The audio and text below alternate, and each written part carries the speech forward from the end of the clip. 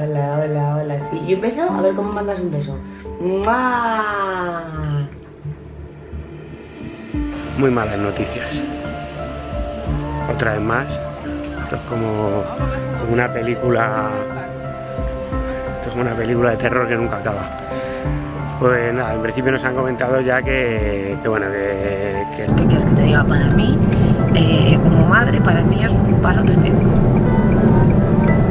Mm, Supongo que tendré que asumirlo igual que asumí que cuando me dijeron que tenía un retraso, porque a nadie le gusta saber que su hijo tiene un retraso, pues ahora tengo que asumir que mi hijo está dentro de eh, la unidad de parálisis cerebral infantil, que tienen que ver, tienen que hacerle otra resonancia más completa con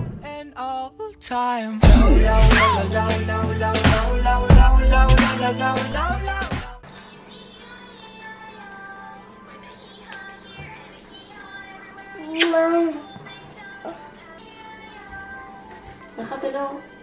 Déjalo, déjalo un ratito, cariño. Déjalo.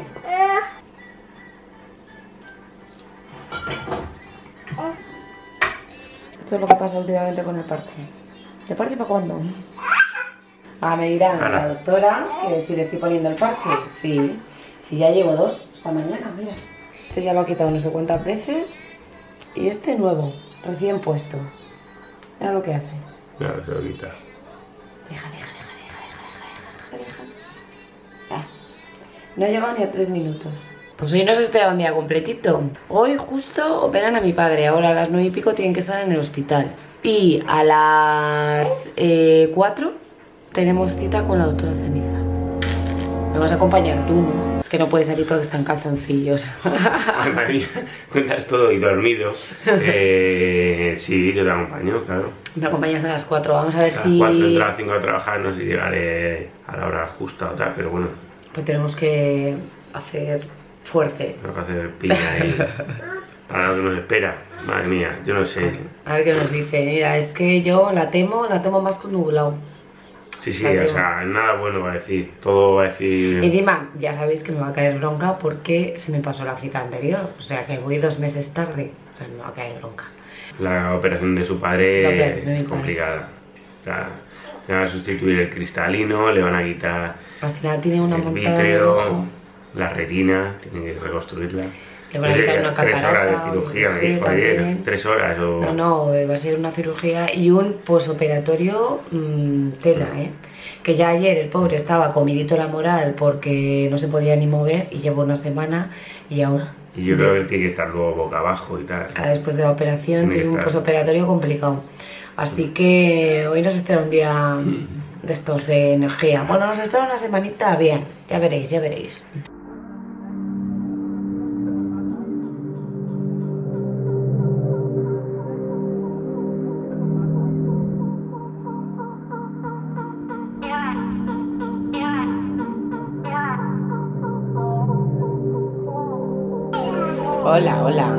¿Quién se ha despertado?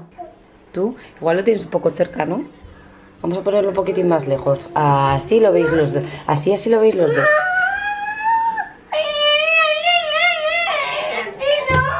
No. Así lo ven los dos. Es que lo cariño. tenéis que ver los dos, cariño. Mira, explícale a Héctor quién es esa persona. Claro, eso lo tienes que explicar tú. Héctor, ¿tú qué opinas, cariño? Vamos a tener un problema. Un problema muy serio. Y es que son dos niños y un iPad. Y claro, lleva siendo el iPad de Oscar tres años. Como le decimos ahora, que no solamente es su iPad, que tiene que compartir. Bueno, que es lo que le estamos diciendo, tiene que compartir y punto, no hay tu tía. O sea, aquí no hay tu tía, hay que compartir. O sea, en esta casa no hay siete iPads, hay uno. Y no tenemos más dinero para comprar siete más. Así que hay que compartir. Pero claro, estamos teniendo problemas porque este, esto ya empieza a reclamar el iPad. Así estamos, estas son nuestras mañanas, peleamos por el iPad. Pero espera, que es que Oscar os quería contar una cosa muy importante, a ver si le da la gana contárosla. Que es una cosa muy importante, muy importante. ¿Qué ha pasado con el pañal esta noche? ¿Cómo Cuéntaselo, estaba? cuéntaselo a ellos. Mira, a ellos, ¿eh? A ellos, cuéntaselo. Cuéntaselo, ¿cómo estaba el pañal? ¿Había pis o no? No, no. No había pis. Es que está dormido. ¿no? Solo son las 10 menos cuarto. ¿Qué, cariño? Si tú ya has salido antes, oye, tú eres un poco prota, ¿eh? Tú eres un poco protagonista, ¿no? Sí, sí, sí, ya te han visto bailar, decir hola, si ellos te ven mucho. Estábamos hablando con Oscar. Y hola. Vale, ya estamos aquí en el hospital. Ya no operaba a mi padre. Y dicen que ha salido bien, que ha salido muy bien. Y lo único que todavía no hemos podido entrar a verle está mi madre aquí que a ver si puede entrar y está todavía en reanimación. Y según dice Sebas, le han hecho un completo. Le he hecho un completo. O sea, le han hecho una faconvulsión, que es quitarle cristalino, le han puesto una lente intraocular, una vitrectomía, que por el tema ese, el desprendimiento de retina y de vitrio que tenía, luego una fotocoagulación y un tamponamiento intraocular. Completo. O sea, le han reconstruido o sea, retina, de- vitrio. Yo le he dicho que ya le podían haber puesto un poquito de botox para las patas de gallo. Y así ya se iba buenísimo de la muerte porque le han dejado estupendo. Sí, sí, sí. La y luego qué hacen? ¿Y luego a quién se la ponen? ¿Para qué? ¿Para ayudarle a que sí? Claro, cuando están malitos le dan tu sangre y se pone fuerte. ¿Tú quieres donar sangre? Cuando seas mayor. ¿Sí? Yo no he podido por tu culpa. Yo soy un cagao, yo no. Yo ahora mismo me estoy mareando. Veo chispitas ya así. Es que eh, ha ido mi hermana a preguntar porque mientras tanto íbamos a ir a donar. Y resulta que por aquí- hemos podido. Porque me Porque como hemos, claro, como hemos estado eh, con gastroenteritis, sabemos que tiene que pasar 15 días eh, de haber quitado el virus para poder donar. Y, Nos han mm, dado una botella de agua gratis. pero al menos nos ha dado agua. Es verdad, yo no he Así podido que- donar por eso. Entonces, este, es- este es un cagao. Este es un cagao, no ha donado nunca. Nunca. Mi hermana y yo hemos donado mil veces. Y él no ha donado nunca. Es un No, pero vamos a cagao. ver, no. Y yo siempre digo que Cercano, cercano. su sangre fuerte le valdría a una Eh, persona para hacerla muy, muy fuerte. El tema, tema es que yo no puedo, dice el otro cagao, yo no puedo, pero porque solo una analítica y me desmayo. O Le analítica. fobia a la sangre aquí. Un 83 se cae al suelo. A la 1,89, Un 82. 1,81. Un 81 más menguando, ¿eh? Cada vez es menos. Pero Cuando yo le conocí, te lo juro que era un 83, ¿eh? O sea, y eres un 81, tú míratelo, ¿eh? Que vas a llegar a los 40 a unos 50. y luego caes más ancho. Para cachondeo nos tenemos tu padre con el ojo así fatal y tú aquí de risita. Va a ser el peso que te hace menguar. Sí, me callo. Bueno, el caso que no hemos podido donar. Así que nada, y de la operación tiene que hacer cuatro meses y hace tres meses y medio. Así que como tiene que venir mi padre un montón de veces y si no, en el niño Jesús también se puede donar. Pues en el niño Jesús algún día iré y donaré, porque es que qué rollo que te tiren, qué rollo.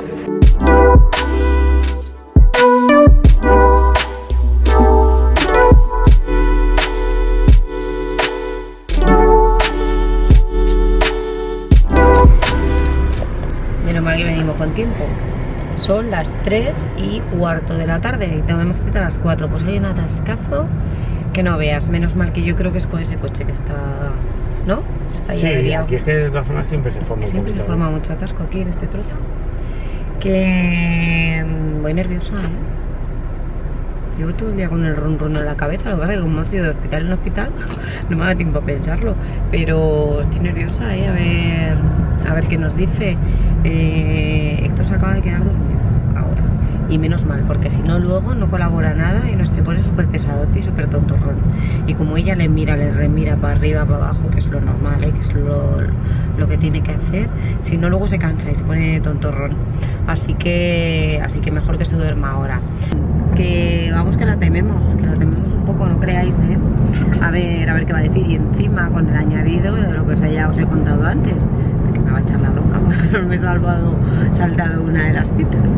Y encima también la tengo que pedir que nos cambie la rehabilitación a por la tarde, porque ahora la tenemos por la mañana, porque eh, empieza el niño la guardería ya. Entonces ya por la mañana no va a poder ir a rehabilitación, así que son un montón de cositas, no te creas. A ver, a ver qué nos cuenta, a ver. ¿Acordáis también que en la última os comenté que le había pedido un informe a la doctora para, para lo de la guardería de Héctor. ¿Os acordáis? Que me, he puesto mal el pantalón y estoy arreglándome el pantalón. Que mm, y la tía que no me hizo el informe, que no me fuera al neurólogo, que no sé qué, que os acordáis que luego le valoró el centro de atención temprana de nuestro barrio para poder meterle como niño de necesidades especiales. Pues te lo voy a decir hoy. Estoy pensando yo, se voy a decir, voy a decir, o sea, ¿te acuerdas que no me hiciste el informe? Pues que sepas que el niño entra como niño, eh, como alumno de necesidades especiales en la guardería y que le van a dar sus cositas en la guardería como apoyo, no sustitutivo a esto que le estáis dando. Os lo voy a decir también, ¿sabes? ¿Me lo ha recordado Sebas ahora por el viaje? Que digo, que les he dicho lo del informe ese que no nos quiso hacer, ¿te acuerdas? Sí, no, es que es una cosa súper rara. Yo una cosa que no entiendo es por qué tenía tanto problema en darnos un informe. la- a la defensiva siempre, no entiendo. No entiendo, o sea, desde el primer momento nos mandó como muchas pruebas, hubo ahí como Está como enfadada.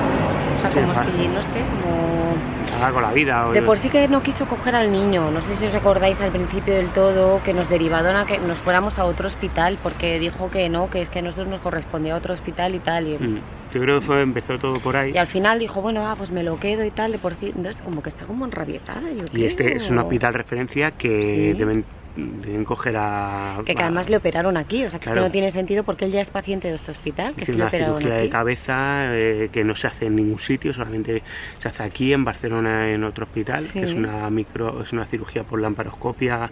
que La abre- paroscopia, que me corrigió Claro. el otro día una chica y llevamos diciendo la amparoscopia desde que le operaron. Pues eso, pues le hicieron ahí una incisión solo por aquí, en lugar de abrirle todo, todo lo que es la ¿Lo cabeza. hacen aquí solo? Jolín, pues es que él ya es paciente, no entiendo. El equipo del doctor Hinojosa, bueno, fue la doctora Rivero. Rivero, la máquina, vamos.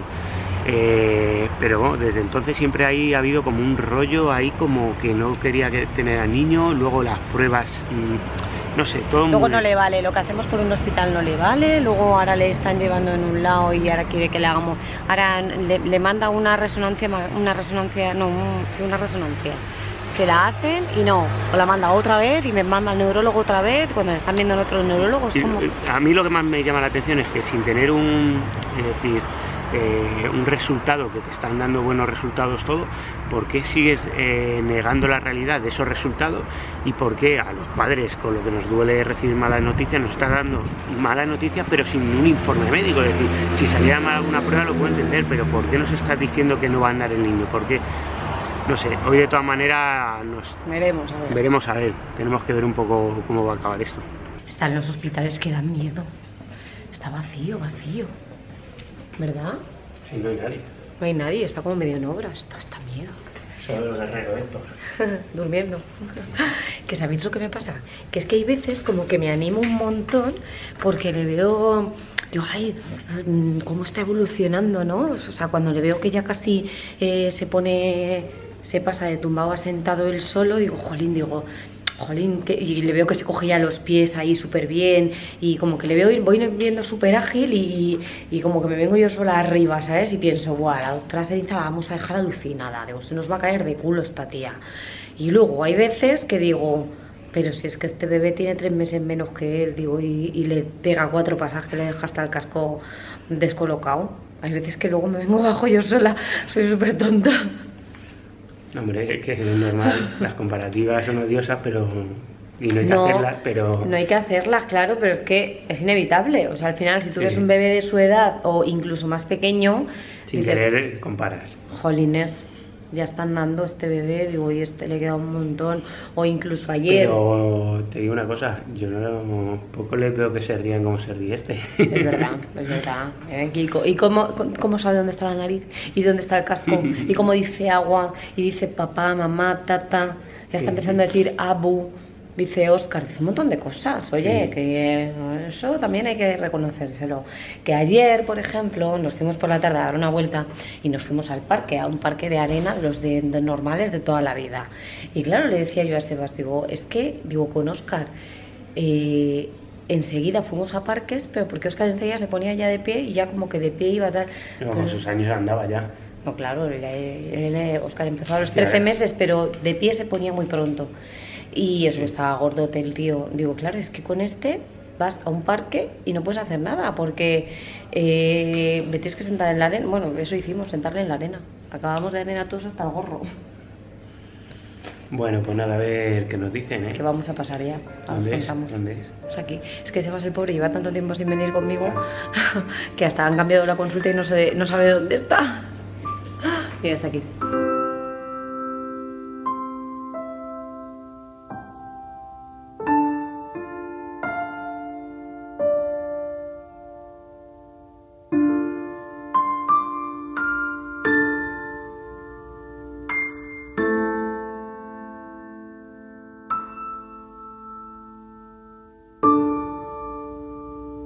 Muy malas noticias. Otra vez más. Esto es como, como una película. Esto es como una película de terror que nunca acaba. Pues nada, en principio nos han comentado ya que, que bueno, que, que lo que tiene Héctor es una parálisis cerebral con Diparesia. con disparesia. Entonces, bueno, pues al final eh, que dice que ya es evidente y, que por eso las piernas pues la- no las mueve apenas. Entonces, bueno, Nuria está como, como veis un poco hecha polo porque la verdad que ha sido un poco ha sido un poco palo. Nos está comentando que bueno, que nos van a pasar ahora a otro a otra unidad.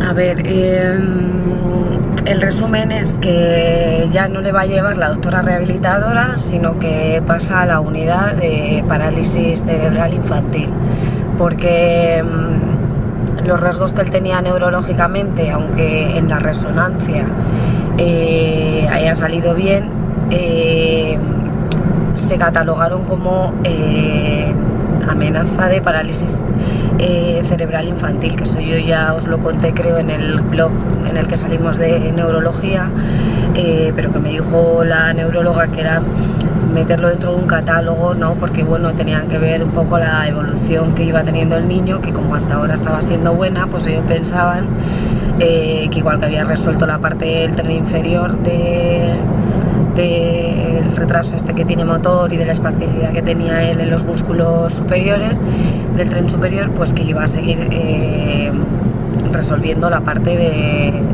inferior. inferior. Pero no ha sido así. Entonces ahora ya tiene 14 meses y entonces ya mm, pasa de ser eh, amenaza de parálisis cerebral a considerarse una parálisis cerebral infantil. Eh, no se sabe de dónde viene, pero que hay muchos casos así que no, no lo muestran ni en un electron cerebral, ni en una resonancia, ni en nada, pero que en realidad por la espasticidad que tienen las piernas, porque en realidad no valen para, o sea, ahora mismo no mueven las piernas, no tiene nada, no tiene movilidad en las piernas como tal, eh, pues se considera parálisis cerebral infantil. Entonces ya la doctora rehabilitadora nos ha derivado a unidad de parálisis cerebral. Eh, eh, lo que tiene él es una diparesia, que digamos que diparesia moderada. O sea, eh, no es poca cosa tampoco, sino, o sea, tiene el tren inferior pues como un bebé de 7 meses. Entonces, pues eh, eh, hay que trabajarlo mucho, mucho, mucho más con rehabilitación, con fisio de lo que estamos trabajando ahora. Entonces, desde aquí van a intentar ponernos otra sesión en el hospital y vamos a derivarlo también a nuestro centro de atención temprana, a ver si también le pudieran dar alguna otra sesión. Y bueno, nosotros hemos decidido ya en este punto que ya nos venía rondado y rondando y ya lo habíamos mm, pensado y ya lo habíamos pensado eh, ya eh, cogerle un fisio privado, ¿vale? Eh, eh, no solamente eso, sino que además los masajes que yo le doy o los ejercicios que nosotros hacemos en casa tenemos que intensificarlos a cuatro veces al día. O sea, ahora mismo lo estoy haciendo una vez Sí, a ver cómo lo haces ahora con vuelta al trabajo. ahora vuelta, al- o sea, encima yo planteándome trabajar, en fin. Tienes, no Pues tengo, tengo la cabeza ahora mismo que no sé ni no- cómo No, voy a- subsidio, no tienes No nada. cobro subsidio, que soy yo eh, desde, bueno, no os lo hemos contado, pero desde abril yo no cobro subsidio porque cobré 70 euros de YouTube. Entonces eh, consideraron que ya tenía rentas y como estábamos en el mínimo, pues eso no tengo subsidio.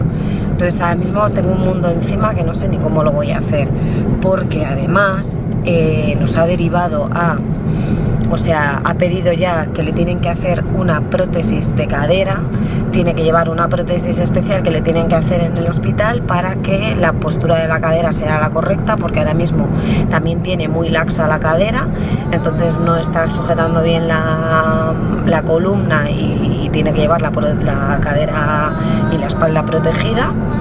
Y eh, más adelante cuando pase el verano y cuando le vean en la unidad esta que nos van a mandar porque le tienen que poner eh, toxina en los isquiotibiales para conseguir que los isquiotibiales se muevan más y conseguir que tenga una movilidad completa que ahora mismo no la tiene y además hay que ponerle unas prótesis en los pies también unas prótesis ortopédicas en los pies O sea que lo que viene siendo un completo. O sea, ya decíamos que iba, que iba, vamos, que entrar a esta mujer. Lo que pasa es que es una hostia de realidad total. O sea,